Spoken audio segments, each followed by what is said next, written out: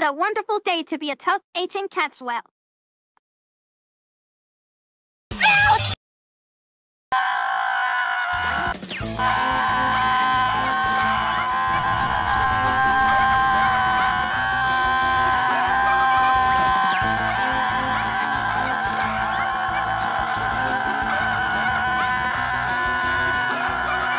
Kitty, stop chasing my friend. Stop chasing Ardesheir.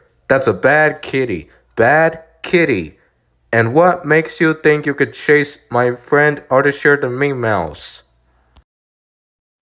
Oh, I'm sorry, Ro. I didn't know the mouse is your friend. Why are you trying to chase Ardesheir? I've been chasing mouses once. I don't want to get chased by a cat. And you did a really good job making Lee marry your son Raheem, Ra'uf. Really? Yeah. And you know, I used to love Raheem. He's so sweet. Really? No wonder I breathe so weird. Uh, never mind. Anyways, I'm really glad you think I drew him as a grown up and he married you. Yeah.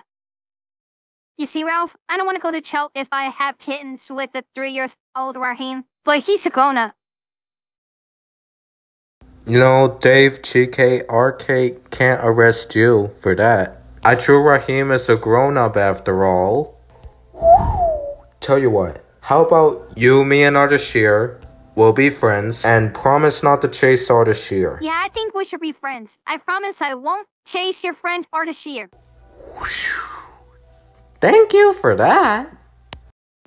We could become friends as long as I could true Raheem and you with the kittens some more. Is that clear? It's clear. Okay.